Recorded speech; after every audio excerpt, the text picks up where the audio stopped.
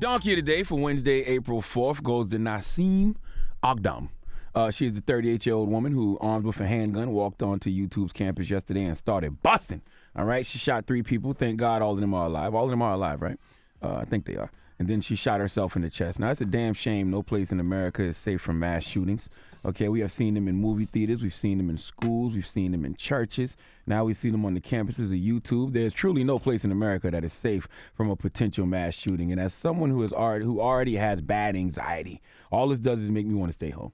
Okay, I hate large crowds at this point in my life. I am, uh, if I am somewhere and it's a large crowd, all I can think about is that it's only a matter of time before a random act of terrorism happens. Okay, because let's be clear, it doesn't matter the race or the religious background of a shooter. Whenever you commit a mass shooting on American soil, foreigner or not, you are a terrorist committing an act of terrorism. Okay, for more details on this shooting, let's go to NBC News for the report. The attacker that has been identified as the woman that came here and opened fire on YouTube uh, has been identified as a woman that was making YouTube videos. It was her father that told authorities, warning them that she hated the company and the family before this shooting happened, reached out to authorities, asking them to check on her before this shooting took place. The shots rang out just before 1 p.m. Tuesday. Three people shot, two women and a man who was the most seriously injured. Police identified the shooter as 39-year-old Nasim Aghdam. Police telling NBC News Aghdam may have been angry at the video sharing site, claiming that YouTube discriminated and filtered her content. Jesus Aghdam Christ. had a large YouTube presence with multiple channels, from animal rights activism to bizarre musical parodies. Authorities believe Aghdam took her own life as police closed in. They say she used a 9mm handgun in the attack. Now, Nasim. some, okay, uh, committing this mass shooting is enough to get her donkey of the day. But do you hear her alleged motivation? That's what's sealing the deal on this hee haw for me. See, now some allegedly was upset that YouTube was censoring her videos, but not censoring the videos of Miley Cyrus and Nicki Minaj. I wish I was making this up right now, okay? On Nasim's website, she proudly calls herself a female vegan bodybuilder and an animal rights activist. She boasted about humane living on her website. Nasim, um, I don't know if you can hear me where you are because I don't know if the Breakfast Club is syndicated in the afterlife, but there's nothing humane about committing a mass shooting, okay? In fact, that is what we call inhumane. You know, the opposite of humane. Anyway, you can go on her YouTube and watch videos of things she has produced and posted. Uh, in one, she edits herself dancing alongside herself in a black and white outfit and a cow head mask. Oh, that's some compelling content right there.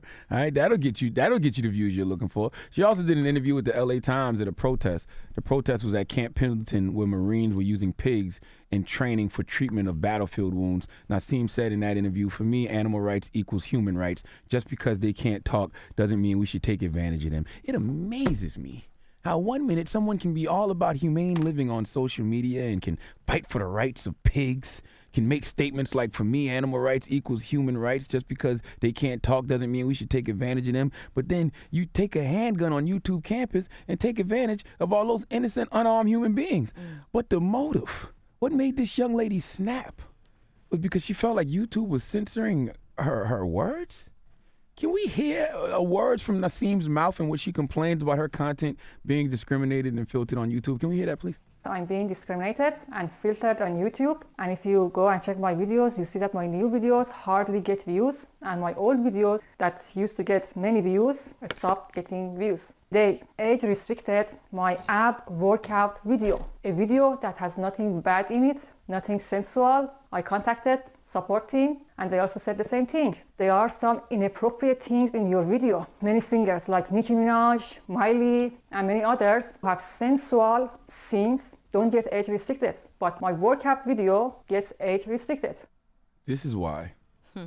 you can't go back and forth with people on social media because it really is some sick, deranged, mm-hmm. mentally ill people online. And when you argue with fools on social media, people from a distance can't tell who's mentally ill. That has to be the only logical reasoning that th- this woman has to be mentally ill because I refuse to think people care about the internet and these social sites that much. This young lady was 38 years old.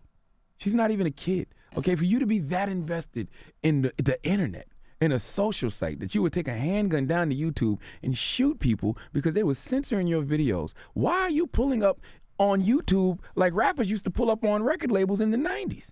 Even in the 90s, when rappers were disgruntled about their deals, they might have pulled up to the label with a gun or two, but they never shot an executive. Not that I know of. Have you ever heard of an executive being shot? I haven't heard of that. Nah. And, and, and Nasim, why not? Why didn't you just go to YouTube and ask to speak to someone?